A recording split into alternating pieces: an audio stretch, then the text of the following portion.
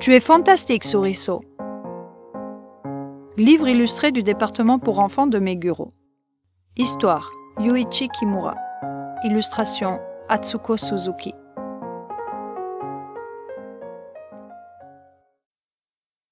Le souriceau pensait toujours Je suis nul.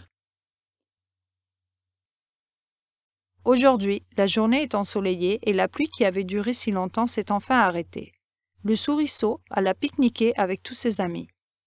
Le souriceau s'arrêta pour regarder le ciel bleu et dit Comme c'est beau Tous continuèrent et lui se retrouva derrière. Le souriceau courut désespérément et finalement les rejoignit. Personne ne s'était aperçu que le souriceau n'était pas là. Le souriceau pensa Je suis nul parce que je suis lent. Alors qu'en chemin il se reposait, l'ours dit J'ai apporté beaucoup de fraises, et il en distribua à tous. Le souriceau dit Moi aussi j'en veux, mais il n'en eut aucune. C'est alors qu'il pensa Je suis nul, parce que ma voix est faible. En arrivant au bord de la rivière, tous commencèrent à préparer le repas. Le souriceau dut aller ramasser du bois avec le singe et la renarde. Pendant qu'ils étaient en train de ramasser du bois dans la forêt, le singe arriva avec beaucoup de branches et dit au souriceau en rigolant Tu ne portes que ça C'est alors qu'il pensa une fois de plus Je suis nul parce que je suis petit. Alors le souriceau réunit toutes ses forces et commença à ramasser de grosses branches. Mais il commença à tituber et percuta la renarde. Aïe, regarde où tu vas lui dit la renarde en le grondant. C'est alors qu'il pensa une fois de plus. Je suis nul, parce que je suis maladroit. À ce moment-là, bibi bibi le souriceau ressentit un petit tremblement de terre, commença à avoir peur et pensa. Je suis nul, parce que je suis peureux. Et singe, je veux entrer dans cette grotte. Tandis qu'il disait cela, il se mit à courir. Qu'est-ce que tu dis là? Tu veux arrêter de travailler? Le singe et la renarde fâchés coururent après lui. C'est alors que, patatras, la falaise commença à s'écrouler. Waouh, oh non, aïe Ils rentrèrent juste à temps dans la grotte. Aïe, nous sommes sauvés. Mais l'entrée était bouchée par de la terre et des pierres. Le terrain, alourdi par les fortes pluies qui n'avaient cessé que la veille, avait dû s'effondrer. La terre qui bouchait l'entrée était impossible à déplacer.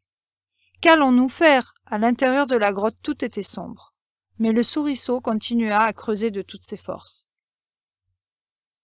Sur ce, une pierre céda et un petit trou se fit, laissant passer un peu de lumière. De toute évidence, seul le souriceau pouvait y passer. En voyant leurs deux visages avec la lumière qui passait à présent, le souriceau fut surpris parce que les deux avaient l'air terrifiés. Il n'avait plus rien de ces deux-là qui étaient toujours si sûrs d'eux. Je vais sortir par ce trou et demander de l'aide. S'il te plaît, on t'en supplie.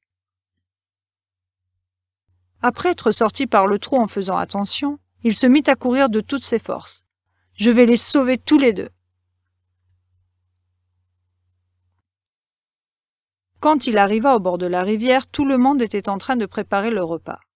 Sans perdre un instant, le souriceau dit à l'ours Hé, ours, c'est urgent Mais, sans lui prêter attention, il répondit Je suis occupé là, je suis en train de couper les légumes. Alors il s'adressa à la lapine et au sanglier. Vous savez, la falaise s'est écroulée. Ah bon? Quand on aura fini avec ça, tu nous raconteras tranquillement. Et sur ce, ils s'en allèrent vers la rivière pour faire la vaisselle. Mais le souriceau devait absolument ramener tout le monde. Bon, puisque c'est comme ça, le souriceau, de toutes ses forces, prit le blaireau et le sanglier par la queue. Et il voulait les traîner. Aïe, j'ai mal, qu'est-ce que tu fais? Le souriceau fut éjecté dans le sens contraire et roula sur l'herbe. Personne ne veut m'écouter. De toute façon, je suis nul. Je n'en peux plus. Je ne veux plus penser à eux deux. Le souriceau ne voulut plus faire d'efforts, et il regarda le ciel bleu et immense. Là, il y vit apparaître le visage apeuré du singe et de la renarde. En voyant ces visages, il ne put rester sans rien faire. Puisque personne ne vient, je devrais le faire tout seul. Le souriceau prit une pelle et se mit à courir. Quand il fut arrivé à la grotte, il commença à creuser, mais même si le souriceau creusait de toutes ses forces, il n'arrivait à enlever que très peu de terre. Malgré tout, le souriceau continua de creuser, et sans s'en apercevoir, ses mains se couvrirent de plaies. Il avait de moins en moins de force. Je n'en peux vraiment plus, dit-il. Et toutes ses forces s'épuisèrent. Déçu, il hocha la tête. Soudainement, tout le monde arriva par derrière. Ils avaient tous des pelles et des seaux en main, et ils commencèrent à retirer de la terre. L'ours était admirable. Avec une grande pelle, il commença à creuser de toutes ses forces. Le sanglier se mit à creuser à une vitesse stupéfiante, avec une pelle dans chaque main. La lapine et le blaireau dégageaient la terre vers l'arrière avec leurs seaux. Ils sont tous formidables. Le souriceau, en voyant tout le monde travailler, fut impressionné et se figea. Il se déprima encore plus en pensant Je ne sers à rien, je suis maladroit, ma voix est faible, je suis petit, je suis incapable de sauver un ami, je suis nul. Le souriceau ferma les yeux très fort. C'est alors que